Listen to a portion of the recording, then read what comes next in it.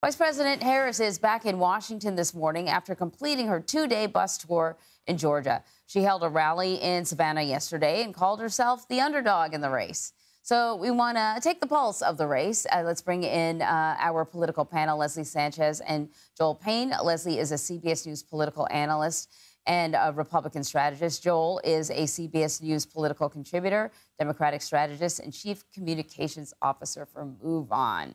All right. So I actually do want to start with um, the interview on CNN yesterday. And Joel, I want to ask you, and then I'll ask you a similar question, obviously, Leslie. But Joel, I want to ask you, what was it that Kamala Harris and her running mate needed to do yesterday, and did they accomplish it with that interview? Well, what she needed to do was continue the process of reintroducing herself to the American people. Of course, she's not an unknown person people know the name Kamala Harris, but they don't really know coming into this process over the last six weeks who she is politically. She did a good job of laying out per- perimeters of who she is politically at her convention and in the lead up to the convention. And I think this interview gave deeper opportunity for people to understand her governing philosophy, the fact that she will be pragmatic, the fact that her values are unchanged on things where it might seem like she held a different position previously, but her position is similar. The solutions that she's seeking are different. That type of work was able to be done in this interview, I think, in a really effective way. And I think it positioned the vice president as someone who is very much um, identifiable with the American experience. The American people do not mind when politicians change their mind on a thing, as long as there is a reason to it and a rationale to it, and it can be demonstrated to improve their life. And I think Kamala Harris did that very difficult thing in that interview. Um, that is not the last test that she'll face in that realm, but I think she did a, an exceptional job in the interview uh, that we saw last night. All right, Leslie, same question. What did she need to do? Did she accomplish it? I don't know that Joel and I watched the same debate, you know, same interview in context. I, would say that what what voters are looking for is someone to remove the veneer of the candidate, to really fundamentally understand what they believe in. Is she in charge of the campaign or is the campaign in charge of her? And what that means is a, there's a lot of artifice and pageantry around rolling out a new presidential candidate. She's on scripted speeches, like you saw at the Democratic convention. Uh, she's, in, you know, with teleprompters everywhere she goes. But this is a one-on-one to really look at a lot of the flip-flops that could marvel the summer gymnastics uh, in the Olympics. And they wanted to talk about fracking and border security, inflation, and see where and how she held her administration accountable.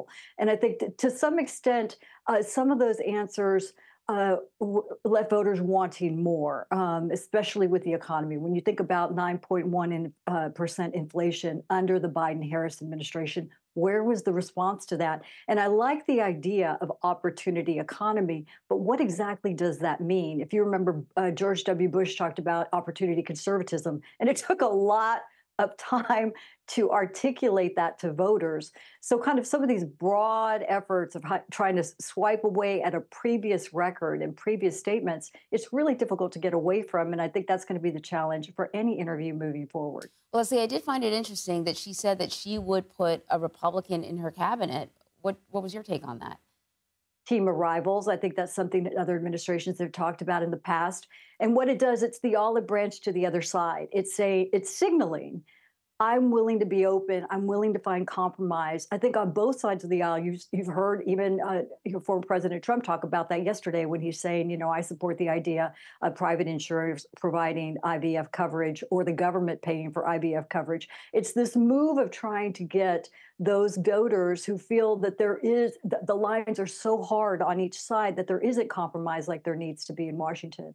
And it's up to the voters to determine if that's going to fundamentally work for them. Joel, yeah, Anne Marie, the mm-hmm. problem the, the problem with that, and you know, uh, you know, uh, Leslie's my, my friend here, but the problem with what she's saying here is about Donald Trump, him talking about uh, IVF. It doesn't line up with his platform, which of course has the fetal personhood amendment, which is directly at odds with what he said about IVF. JD Vance voted against the principles that he allegedly laid out about IVF and even some of his positioning on abortion yesterday, talking about how he would vote against, or no, he didn't actually say he would vote against the measure in Florida. He said he thought six weeks wasn't enough, but then his campaign had to walk it back later. So what we're talking about here is expectations um, and what voters are going to give these candidates space to do. I think voters expect candidates to evolve and to grow. What they don't like is pandering, and what they don't like is ingenuine, pan- uh, disingenuous pandering. And I think you've seen that from Trump recently.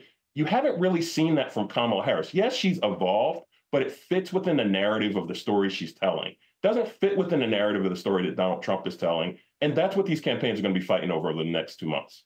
Yeah, I thought that was really interesting. I haven't gone to sort of the the Trump Vance website to see if there's anything about the uh, you know on their platform, you know, explaining their platform. But it did sort of feel like that IVF came out of nowhere with little explanation as to how you would pay for something quite that expensive. But Leslie, let me ask you this: There's been sort of a question with this kind of this is a this is a very curious uh, race, right? There's been a question about who is more of an incumbent in this race. Uh, Trump last night tried. Uh, tried to tie Harris, obviously, to President Biden. I want to play some of what he said. She's been there for three and a half years. She only wants to talk about the future because the past has been so. The job they've done, let me tell you, he's the worst president in the history of our country, and she's the worst vice president. Um, you know, even last night in, in the interview, there were questions about, well, you know, if these are if the, if these are your policies, you had four years to do it. And I thought, well, she was the vice president and not the president. And I and I think the audience is sophisticated enough to get that. But uh, I want to ask you, do you think this is sort of a winning argument for the former president to make? You know, there's the interesting part of that argument is if she says, I stand alone on my own policies, my values, what I believe, they are to the left of President Biden right? We know her entire professional career. She is extremely progressive, picking up these kind of uh, West Coast liberal policies in California on every issue from the economy, the role in government regulation, taxes, taxing the wealth, border, you know, providing uh, everything from driver's licenses, decriminalizing undocumented immigrants. I mean, the list goes on and on. To, to, to swing back to the middle saying, I'm, you know, Biden Harris administration I am responsible for this. I take on these policies. But then to run away and say, well, I really wasn't in control, even though I was the last person in the room. The duplicity of that. I mean, it just take, I need a, a pad and paper, you know, I need to write down the map um, to understand what she was involved in, what she was not involved in. And that's the trouble in a compressed election cycle is people are really trying to peel the onion and understand what are we buying here for the future. And it's a difficult task um, and despite all that, she is on par. She's picked up the rest of the Democrats, and some of the never Trumpers have come on her side. So it just shows you the difficult task ahead. But on the issues of border and the issues of economy, she's going to have a very difficult time saying she was not part of the problem. Joel, I'll give you the final word. Yeah, I just think the fact that um, I think Republicans are misreading this, the situation. I think Donald Trump is misreading it. Joe Biden, people liked his ideas and they liked the tone of governance that he set. What they didn't like was that he was old.